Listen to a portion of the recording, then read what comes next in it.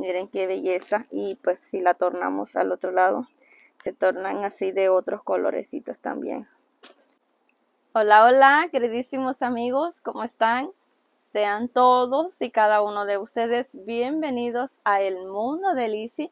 Este día vamos a estar trasplantando a esta preciosa calatea, esta calatea triostar o la tricolor, también conocida como maranta.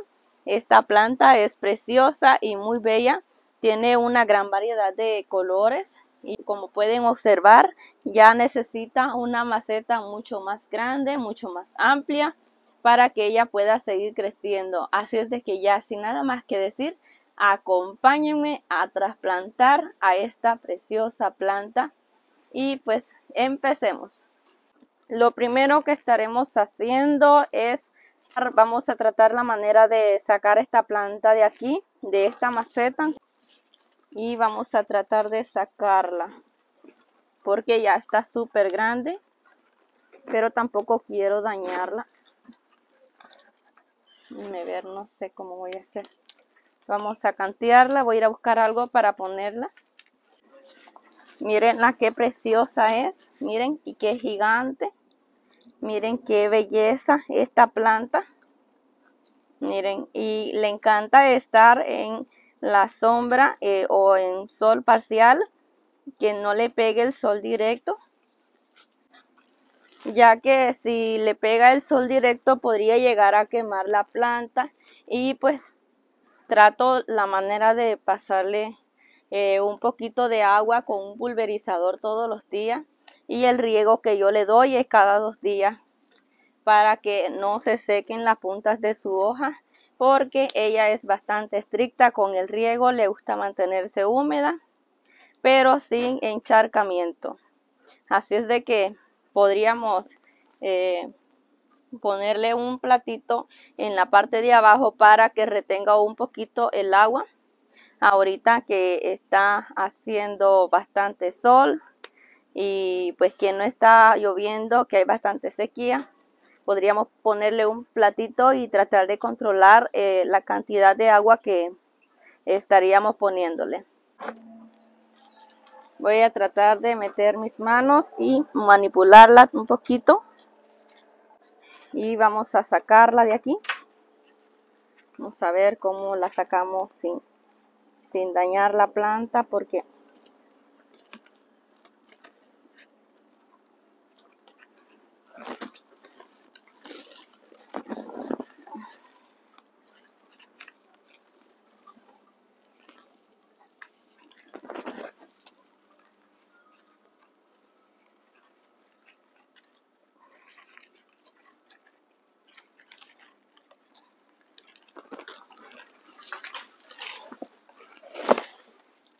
ya gracias a Dios ya la sacamos. Pues ya ahora que la tenemos aquí vamos a vamos a empezar a ponerle el sustrato. Voy a tratar de de arreglarla un poquito. Bueno amigos ahora que ya tenemos a nuestra plantita en su nueva maceta a esta preciosa calatea Trio Star vamos a estarle poniendo un sustrato rico en nutrientes con humus de lombriz, tierra de hojas, perlitas y también el pigmus que le ayuda para retener un poquito la humedad.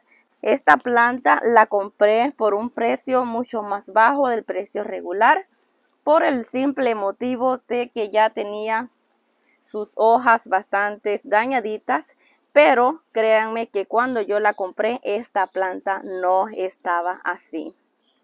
¿Y cuáles son los cuidados adecuados que yo le estoy brindando a esta planta?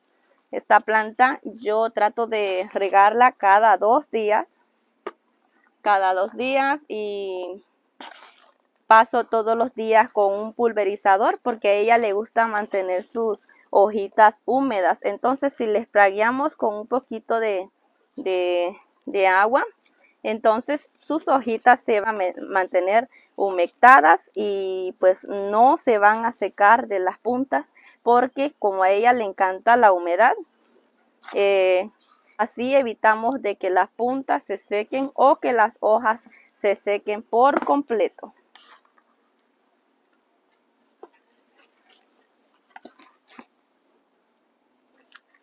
A esta planta, cuando hablamos de que le gusta el agua, tenemos que recordar de que a ella le gusta el agua, pero no le gusta estar encharcada, por lo tanto tenemos que usar un sustrato que sea drenante pero que mantenga la humedad para que ella se pueda mantener así con estas hojitas bellas y coloridas y brillosas.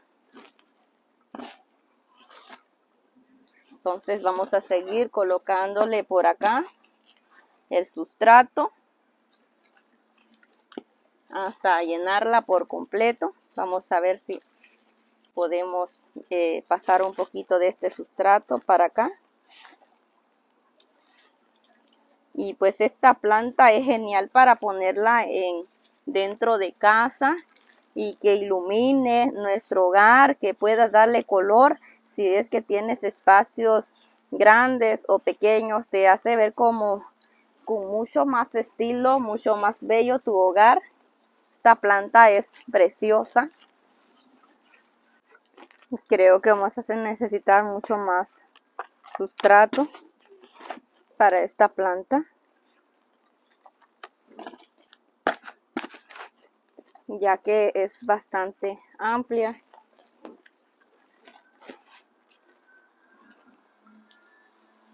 Y, esta planta es bastante fácil de reproducir, chicos. Créanme cuando les digo. Al otro lado de mi casa tengo plantas de interior y la tengo que le he sacado un pedacito y fácilmente de aquí podríamos sacar unas cuantas plantas y ponerlas ya en otras nuevas macetitas. Pero a mí me gusta verla así tal cual está. Pues quiero verla que se siga creciendo en colonia así como está ella de bonita para seguirla viendo crecer. Y pues me siento orgullosa de los resultados de la manera en cómo ella se nos ha puesto, cómo ella se nos ha crecido. Y pues yo sé que aún se nos va a poner mucho más bella, ¿verdad? Porque eh, cuando traía estas hojitas tañaditas, lo único que yo hice fue cortarle las puntitas. Y eso fue todo. Y nada más eh, que estarla pulverizando todos los días como hago con otras que tengo por ahí. Eso es lo que hago para que sus hojitas no se sequen y pues se mantengan hidratadas. Pues ya, creo que sí, pues ya, creo que sí quedó. Miren, creo que ya. Miren, mis manos están llenas de tierra. Y es que Anoche llovió y yo preparé ayer el sustrato y lo dejé afuera y se me mojó. Entonces, por eso está húmedo. Pero no pasa nada. Igual a ella le encanta estar así. Y como no tocamos sus raicitas ni nada, pues le va a ir súper bien.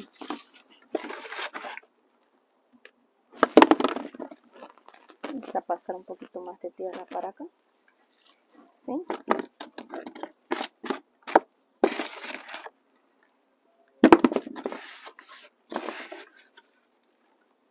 y pues aquí se nos metía todo el sustrato ahora vamos a poner un poquito de agua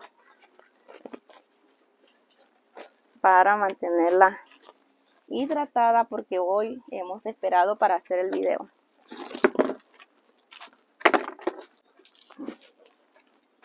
bueno pues amigos miren estas son las botellitas bueno tengo otras pero esas las tengo allá en el otro lado. Por cada lugar donde tengo este tipo de plantas, yo tengo una botellita que es con la que yo paso eh, echándole un poquitito de agua así todos los días. Y esto es lo que yo hago, miren, así, para que ellas se mantengan húmedas, lo que son sus hojitas y pues no se nos sequen, así. Y pues esta planta, créanme, que yo no la tengo dentro de casa, la tengo aquí afuera, pero la pongo en un lugar donde no le pega tanto el sol, pero sí eh, le da el sol lecito parcial porque está debajo de un árbol y eso es la que me la cubre del sol directo. Miren.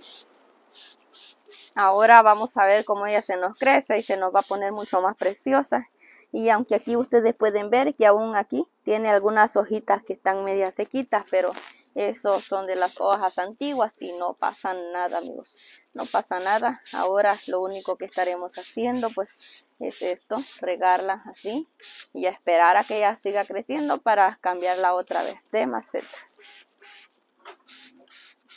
Miren, ahora que como anoche llovió, entonces hoy no le vamos a dar riego al sustrato Vamos a esperar hasta mañana. Yo la riego cada dos días o un día sí o un día no, dependiendo en cómo esté el clima. Y pues nada amigos, estas plantas son bien sencillitos de cuidar. Y pues como les digo, no necesitan de nada más que un, un buen sustrato y riego cada que ella lo necesite. Miren qué belleza. Y pues si la tornamos al otro lado se tornan así de otros colorecitos también. Miren qué belleza. Vamos a voltear esta hojita para que puedan verla así, tal cual está. Qué belleza. Bueno, pues amigos, los invito a, a suscribirse. Si es que no lo han hecho, suscríbanse por favor. Déjenme ese super like para que YouTube nos siga recomendando y pues podamos llegar a un público mucho más grande. Gracias por brindarme este apoyo, por todo lo que hacen, por esos bellos comentarios, por estar siempre aquí dedicándome un rato de su tiempo. Dios los bendiga y nos vemos hasta un próximo video. Bendiciones.